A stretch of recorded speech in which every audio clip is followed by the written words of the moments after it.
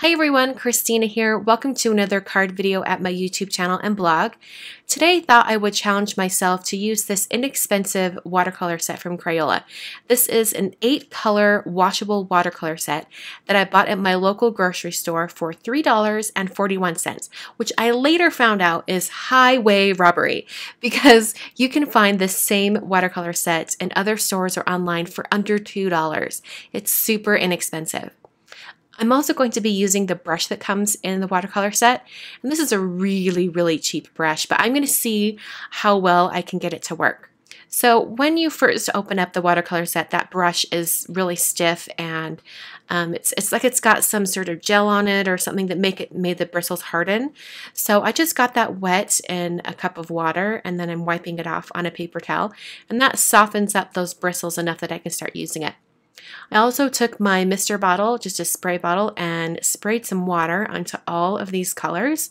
They recommend you do that on the back of the packaging, so I went ahead and did that for sure. Then I set that aside to let the water soak in. I'm going to be using this stamp set from Lawn Fawn today called Let's Barbecue or Let's BBQ.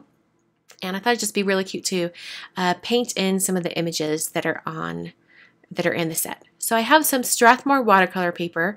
It is cut to five and a half by four and a quarter, and I'm stamping the images and the grading in VersaFine Onyx Black ink. This black ink is a pigment ink that when it dries, it's permanent and it's waterproof, so it's really great for doing these watercolor images.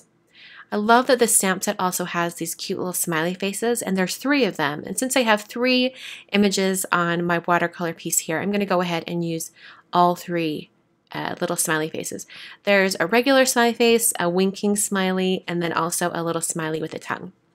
So here I am mixing some colors on the palette off to the side. I'm using the lid of the, the watercolor set as a palette. And the thing that I really noticed that I was going to have to do is I was going to have to mix my own colors. These are really primary colors. They're not toned. They don't have um, any variations. So I really had to mix the colors. I'm going to speed up the video process here a little bit just so um, I can really show the whole entire process, but I'm going to walk you through a little bit of the painting as well. So the, the thing that I noticed with these watercolors is they actually aren't quite as bad as I thought they were going to be. I was really skeptical, but um, I discovered that it actually wasn't so bad. Um, they do dry back quite a bit. They don't keep, they're a really bright color. When they, once they're dry on, on the paper, they really, really dry back, which is sometimes nice because they're very transparent. So you can get some really fun watercolor looks with them. But um, compared to some of my more expensive watercolor sets, I could really tell the difference between um, these paints and my other sets. So I'm mixing a lot of colors together and then I'll be transferring them over to my project. So if you guys can hear a cat meowing, that would be Sophie. Hey, Soph, come here. Now she's not going to come over here. Um, anyway, so I'm mixing up a brown color for the bread on the ha hamburger and also on the hot dog. And I also wanted to mention that the, the main thing that I noticed with these watercolors, and the main thing that's really different um, for one thing, the only thing I'm changing is the watercolor set. I'm still using nice paper. Um, I'm still using a nice ink for when I stamp the images. The only thing I've changed up is the watercolor set and the brush. So I really feel like this is a good representation of the difference between this inexpensive watercolor set and one that is more expensive. I uh, noticed that as everything had dried, that the pigment sort of just like settles into the paper and I get sort of this mottled look. It's not smooth. Hey, I'm not talking to you. Why are you meowing? Um, it's not super, super smooth. If you can see like there's like little, it looks like it was printed on a printer or like it's just not smooth color. And when I use Distress ink even, or I use a different watercolor set, um, it looks very, very smooth across this particular watercolor paper. So I know that that's the difference. That being said, for a greeting card, I don't know that it really matters so much, you know. Um, I don't know if a lot of you card, ma card makers are like me, but I mostly send cards to other card makers because I know that they'll appreciate it. So when I send those off, you know, probably they would notice that there's a little bit of a difference in quality, but it's not a huge difference. And for under $2, I mean, this is actually pretty great. So I just, I did want to mention that. Now I'm going to do a little bit of a background here. So I'm wetting the surface of my paper with some water. Then I'm going to bring in a really, really pale blue and it's going to sort of wick away and create a nice background. Now I noticed with this color that the, the paint really didn't move too much. Um, once it was on the paper, it did not want to move around at all. Even when I had my project tilted, um, it really didn't want to move around. So notice that this is really transparent, um, all of that blue, and it's drying back quite a bit. I'm going to hit it with my heat tool here in a minute and dry even more and then put another layer on top. And that's how you can get that really cool watercolor look, is layering transparent colors.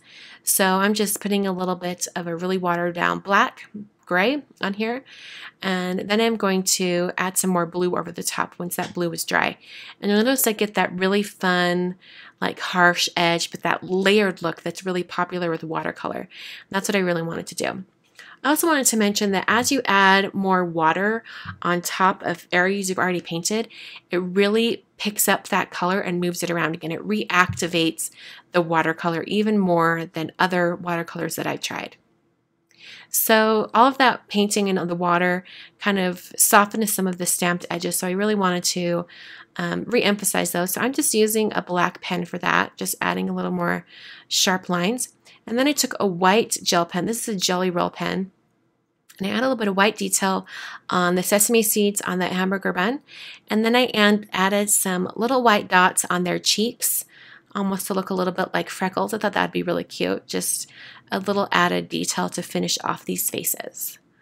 So I'm going to go ahead and take this watercolor piece off my board here. I'll take the tape off and trim it down to, uh, let's see, three and three quarters tall by five inches wide. So I took a half inch off each dimension and I'm putting it on this white note card that I've uh, cut and scored. It's made out of some Neenah Solar White cardstock that is 110 pounds in thickness. I then rounded the corners on that watercolor piece and then I put a bunch of foam adhesive on the back and I'm going to be adhering it directly onto that card front. Keeping everything really, really simple, I'm just going to add a little bit of an element right below that greeting. Took my T-square ruler and that same black pen and I drew on a dashed line. Then I'm going to take a little tiny heart from the Simon Says Stamp Mini Heart die set and I've already pre-cut that heart so I'm just going to color it red. I'm using a barn door distress ink or distress marker to color this heart. I'm going to be covering the heart with Christmas red Stickles glitter and I've just noticed in the past when I put that Stickles over the top of white cardstock sometimes the white shows through so I like to just make whatever paper is beneath that glitter the same color so that it doesn't uh, show through quite as much. So I just uh, used a marker for that. You could also have just used the red watercolor if you wanted to. And then I'll just put a little foam piece right behind that heart. Use my tweezers to position that over that dash line and then press down. And now I'm going to add those, uh, that gray, or not, it's not gray, hello. I'm going to add that red stickles right on top to make that heart sparkle. I'm also going to add a little bit of Wink of Stella clear glitter brush pen on top of these little images. You'll notice that I'm dabbing the brush down. That's because I know that any moisture is going to reactivate that color and move it around. So I'm trying to not brush the surface of the paper, but instead just dab on a little bit of that glitter, a little bit of that shimmer. So that finishes up the card today. Hope you guys enjoyed. I thought this was sort of a fun challenge to give myself to use a less expensive coloring option. And I think it turned out pretty great. I don't know that anyone would really notice that I had used less expensive paints and it was kind of fun, a fun exercise to do. So hope you guys enjoyed and I will see you guys in the next card video.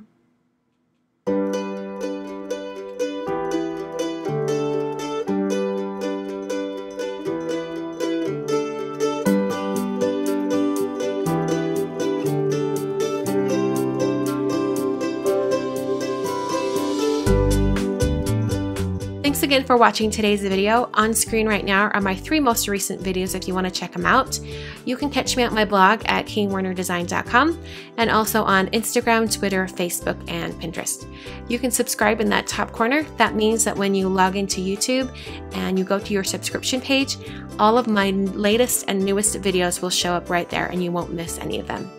Thanks so much for watching and I'll catch you guys tomorrow for another video.